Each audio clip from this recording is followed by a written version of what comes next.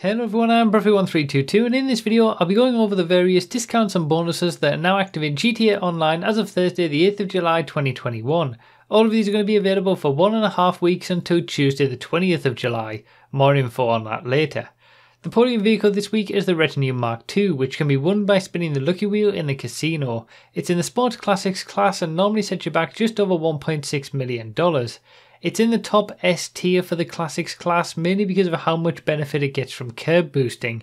On the majority of tracks, it's unlikely to be able to compete with the Turismo or Cheetah Classics, but on some rougher city circuits, and especially the Sport Classics premium races, it can be a very potent weapon.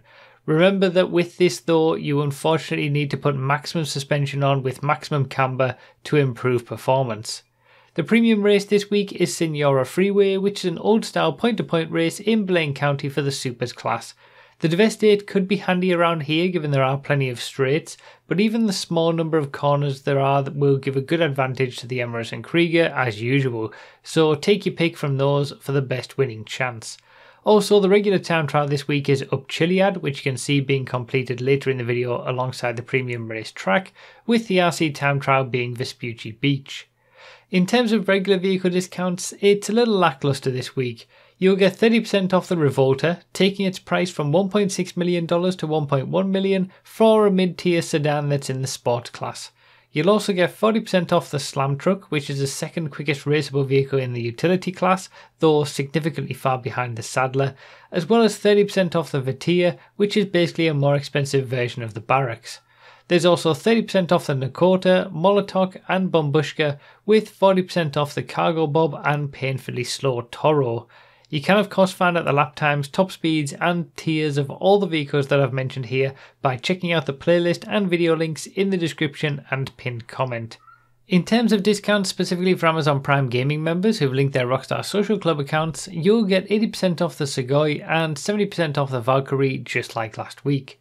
I'd also like to thank ExpressVPN for sponsoring today's video. ExpressVPN basically serves as a bridge between your device and the internet. You can also use it to pretend you're in another country to get around location restrictions for video streaming services. With your money refunded if you're not happy within 30 days and a service that just works with no tricky setup, it's definitely worth checking out. Use the link in the description to head to expressvpn.com slash broughy and get 3 months free on a 12 month plan. Other miscellaneous bonuses this week include triple money on free mode events plus double money on all survival modes. The seven new survival maps are now available too. There's also 40% off garages, but only those on the Dynasty 8 website, which is kinda weird. And that's it this time as well. In terms of my deal of the week, I really struggled to pick anything out this time. In the end, I had to settle on the Sugoi because even though it's slow, as we saw from the fastest Dinka cars video on Tuesday, it's worth snapping up for 80% off while you have the chance if you have Prime Gaming because it can be a fun car to race with. If you don't have Prime Gaming, there's not much reason to log on this week, in my opinion.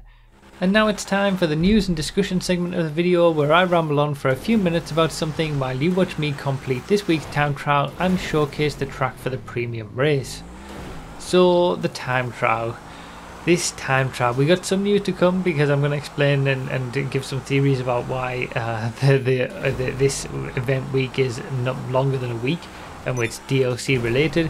But I got to talk about this time trial first because it's it's the one that broke me. This is the one this is it. Um, you might be wondering why this video is hours and hours late. Well it's because I was trying to do this time trial in the adder and I couldn't do it. In the end I, I my best run which you're seeing right now my best time at least uh, was a, a basically three tenths of a second behind what I needed. And after spending hours hours doing it I was clinging on to the idea of doing every time trial on PS4 at 30 FPS in the adder. This is the one where I had to give it up.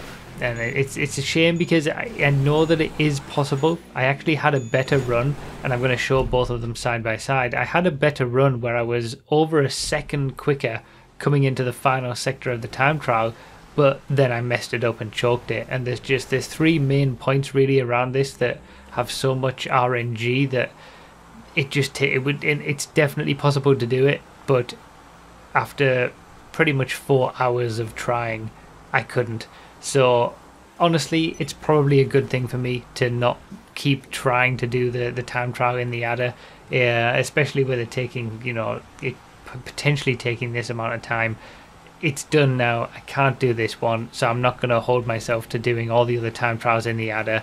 And I think that's going to free up my mind a little bit and also you know be able to get these videos out a bit quicker because I'm going to be able to get the time trials done quicker as well. So yeah, it was fun while it lasted, and yeah, it's a shame that I couldn't get it done, but you know. It, it's it it's probably it feels like a bit of a relief to be honest you know the the stress of feeling like I had to do this and and this is why I've spent you know I've wasted my day basically today trying to do it I don't really want to do that anymore so yeah, I'll keep doing the time trials. Obviously, it's just it won't be in the adder. Uh, maybe I'll do some of the easy ones in the adder just as sort of a throwback, but most of them I'll just try and use the best vehicles. Uh, like a bike as that I've resorted to for this one, it was done, you know, immediately. So yeah, um, the other bit of news that I wanted to talk about in this is, as you might have noticed at the very start of the video, this event week runs until Tuesday the 20th rather than the previous Thursday. It's obviously it's a week and a half. It's almost two weeks this event. And Tuesday is a DLC day. DLCs generally drop on Tuesdays. There was a um, because this video has come out so late. Rockstar have already published their newswire post, so I can read a bit from that. It says about the GTA Online summer update. GTA Online's forthcoming summer update includes the Los Santos car meet, the beating heart of car culture in southern San Andreas. Keep an eye out on the newswire for more information coming soon. So they gave us a new image as well that looks like it has a Sugoi, a Sultan Classic, a Komoda in there as well. Um, we'll, we'll, see, you know, what's going to come from this DLC. It's obviously going to be car themed, so right up my alley. I'm looking forward to seeing what they bring and testing all the cars again.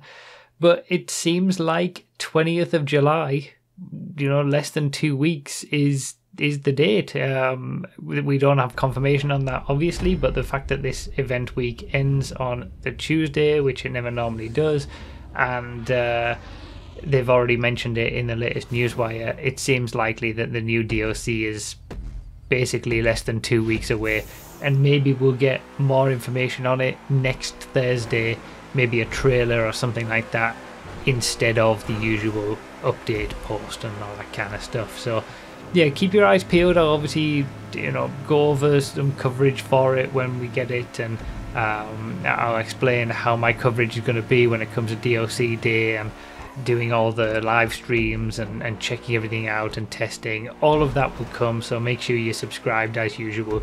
So yeah, I think one last thing that I want to mention is that I'm kind of struggling at the minute to be able to get everything out. So if you see a bit of issue in terms of um, not the you know there's not a random all video on Friday or something like that or um, yeah basically the videos might be a little bit off kilter for the next few weeks and then especially with the DLC coming as well that normally takes up pretty much an entire week of videos anyway so yeah normal service will probably resume once that calms down after the, a week or so after that. But um, from now until then, I'm also going to look to try and take a little bit of time to myself before the DLC as well. Um, just because I think I, am I'm, I'm in need of it at the minute. So, uh, yeah, being a bit more rambly than usual this one, and that's probably a, a sign that I need to you know step away for a little bit. But uh, yeah thank you guys so much for all the support. I'm looking forward to delving into the new dlc and seeing all the fresh content and new cars and everything that they do with this car themed update. So yeah keep your keep your eyes on the channel and uh, make sure you're subscribed if you haven't already like i said. Thank you guys so much for watching. Thanks for all the support. I won't be back with another video just like this next thursday because there won't be another update next Thursday. It might be DLC on the Tuesday after that. So, yeah, thank you guys. I'll see you next time.